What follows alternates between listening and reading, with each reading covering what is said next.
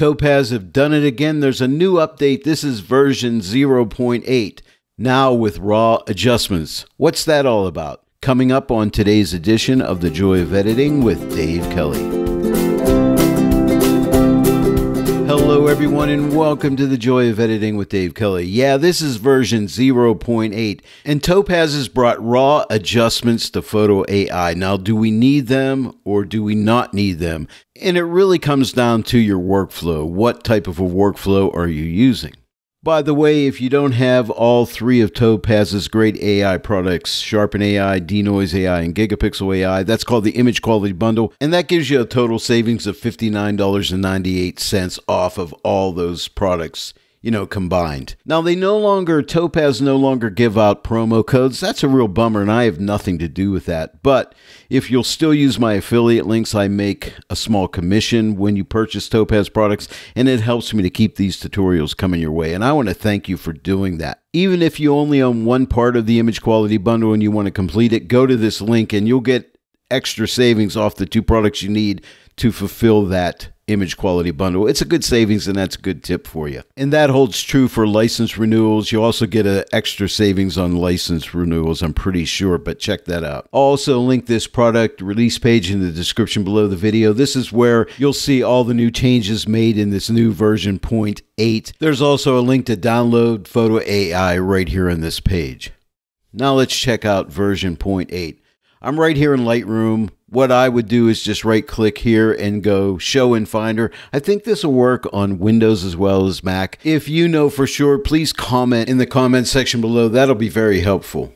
I'm just going to right click on my image and open with Photo AI. It'll launch Photo AI and we'll get started. Now, this will be a raw file coming in here, and right now it's running its adjustments. It's scanning the image, checking it out, seeing if it has a sharpening problem, a noise problem, or both, and hopefully it'll get it right. But you can see all the settings it has found for us here, but you're going to notice now we have this new raw adjustments. Now we're going to check this out. Is this perfect? Absolutely not. There are bugs in here. I got, and I'm going to show this to you. I'm not, I'm not going to hold anything back from you. You're going to know the truth. Don't forget, this is beta.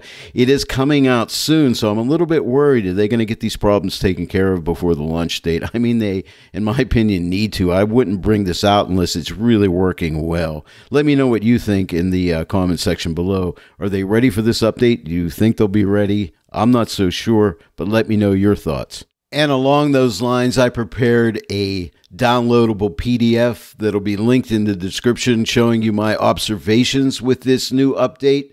I'm calling it the good and the bad. It's going to show you a bunch of stuff here. Do yourself a favor and download this. And I even have some final thoughts about the whole deal here. So check that out. Download it, read it over, and then give me a comment in the comment section below and let me know your thoughts. Now, I have a question for you. Do you think this is the future of Topaz? Do you think this is going to take the place of the other three apps, Sharpen, Denoise, and Gigapixel?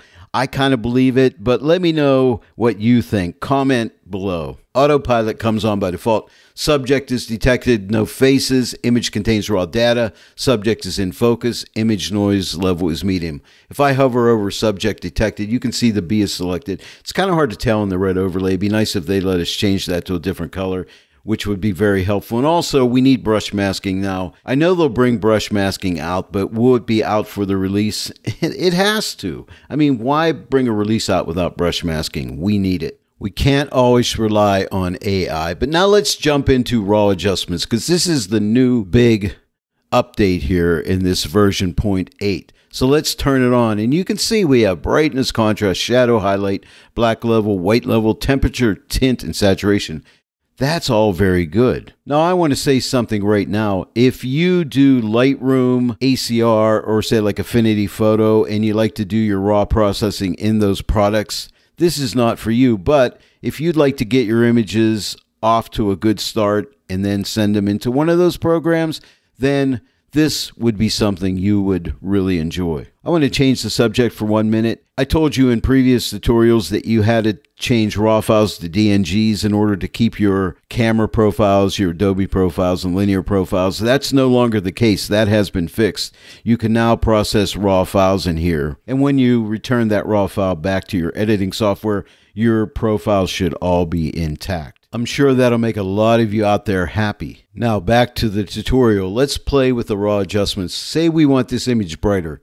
I'm going to take this slider and drag it to the right, and I'm going to wait, see initialize, and we're going to wait, and we're going to wait, and we're going to wait, and we're going to wait, and now we can see it's brighter. But what if it's, I say it's too bright? Well, let's bump it back a little bit. So let's bump it back, and let's wait, and wait, and wait, and wait, and now we can see the change. To me, this has got to be fixed again before this product is released. Here is a workaround. We're zoomed in at 100%. This is not a good workaround, but it is a workaround. Change this zoom level to either 200 or 400. I'm going to change it to 400% and just show you if I adjust this, it's almost super fast. Okay. I don't know where the problem is. It might be they may have to reduce the preview size or something like that, or the, I don't know. I don't know what it takes. I'm not a software engineer, but they've got to fix this. If we go to 200%, you can see it won't be quite as fast, but it, will still be faster. But the problem comes in where you need to really see a lot of the image if you're going to be making these kind of adjustments, especially in the beginning of a workflow. So that is something that has to be fixed. This is a beta, but I sure hope they get it fixed in time for the release in September. That is coming really soon. But if you do a Lightroom or ACR Affinity Photo type of a workflow where you do your raw adjustments in there, then just disregard these raw adjustments. You won't be using them. Let me zoom into 400% again so this will be faster. And let's just go up on the B here. But, you know, I'm so close, it's really hard to make an adjustment. But we can see we can adjust the black level, make the blacks darker. We can adjust the white level. We can change the temperature. We can warm it up. We can cool it down. We can adjust the tint, make it more magenta or more green. So we can do all those things. Uh, I'm going to go ahead and shut these off, but that's raw adjustments. But for my workflow, I won't need them. Here's a question for you. With these raw adjustments now in Photo AI, do you think the future of Topaz is to bring out a full editing solution, say like ON1 software or Luminar Neo? Do you think they're going in that direction? I think they may be, but I don't know. Let's get a discussion going. What do you think? I really want to know your opinions on this. Now, here's something new in version 8. You see down here where it says 1%. This is a score of this image, how well Photo AI thinks the image has been improved so far, so it's at 1%. If I were to come here, it says I don't need sharpening, it's in focus, but if I go ahead and turn sharpening on and it's selecting the subject only, you notice that bumped up to 11%. Now it's telling me I have a, an 11% better image at this point. Let's see what happens if I increase this strength and see if that score jumps up. I don't know, it may or it may not. Hey, it jumped up to 16%. Let's see what happens if I take it up to 100%. Is that going to increase or should it decrease? It went up to 23%, so it says, hey, you're doing the right thing. Let's try motion blur and see if there's a bigger increase there. Now I'm way at 100%, which is way too much, but now it's still at 23%. Now let's pull it back, and you can see that looked terrible, right? But I'm going to pull it back here to 57%, and now it has a 9% increase. So that's a score. So I don't know much about it, but this is new. And if we look at the release notes, it says we're also filling out a new feature related to image quality. And I believe that's what I was showing you. Images will be shown an image quality score with a percentage that presents how much your image improved. This is a very experimental score, so please give us your feedback on both how accurate and how helpful it is to you. So, hey, let Topaz know what you think. Remember, this page is linked in the description below this video. Now, log into your Topaz account and you'll be able to reply to this and you'll be able to look and see what all the other Topaz users are saying about this version here.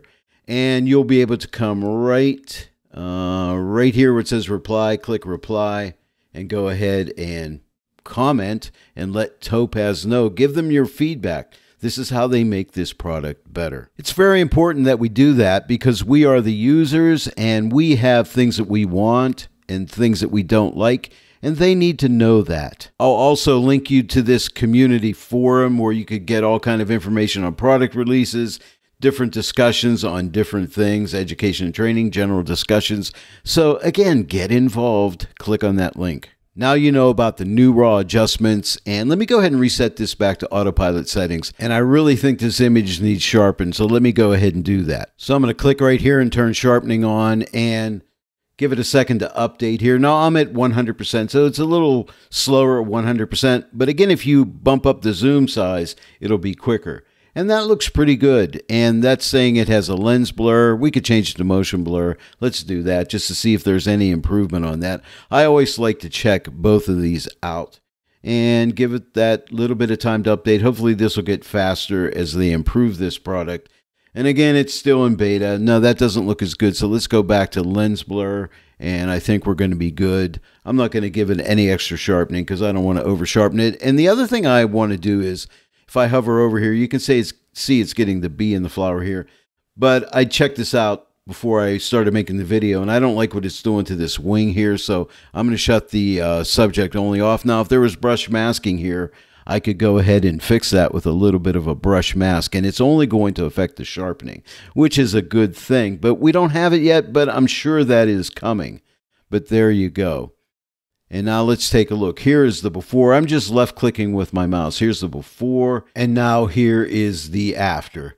Let me go ahead and zoom in closer so we can take a better look. Okay, give it a second or two to update here. No, I always like to left click and hold with my mouse to see the before and release the mouse left click and here's the after. Or there's a little eye down here. You can click this and keep the filters off. So there's before and here's after and then we can uh, do a side by side view, or we can have this like I'll call it a split screen where we can drag uh, the slider across here and see the before and after that way, whichever way you like it.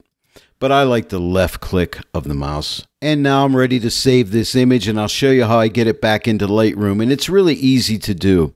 We'll notice we have a 12% increase of our image. So I'm going to click on Save Image. And then we have these options here. I like the prefix of Photo AI, and I'm going to put it back in the original folder. And you have choices here on format. You can preserve the input format. I'm just going to leave it on DNG. That'll keep it in the raw format here and click Save. And I'm not going to make you wait through this, and I've showed this in other videos how long it takes, but I'll meet you back in Lightroom. Here we are back in Lightroom, and I have the original DNG with no adjustments on it. Now, to get that Photo AI DNG into here, it's very simple. You just need to go to the folder, which is right here, because remember, I saved it to the source folder. But if you don't see the folder showing up, just right click on the image and click right here, go to folder and library, and that'll come right up for you. Here's all you have to do. I think this is the same in Windows. If it's not, let me know in the comment section below.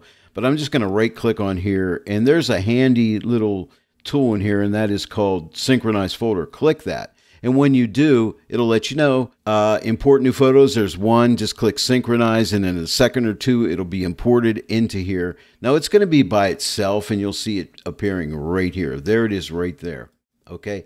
Now what I can do is right click on this and then go to folder and library again and now it will be sitting right next to the other image. It's to the right of the original DNG so I'm going to select both of these by command or control clicking on the original DNG and let's go into XY comparison. We'll see here. Now there is an issue here. There is a color shifting and brightness issue here. The image on the left is a photo AI DNG and when I come up here you can see the image on the right which is the original DNG has noise and there's no noise over here.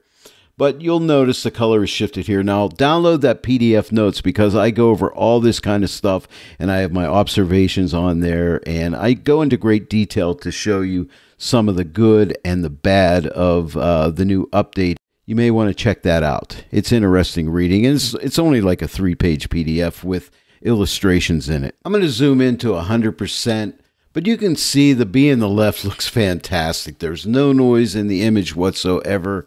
They still haven't brought uh, noise recovery into Photo AI yet, but I'm expecting that to be coming in the future.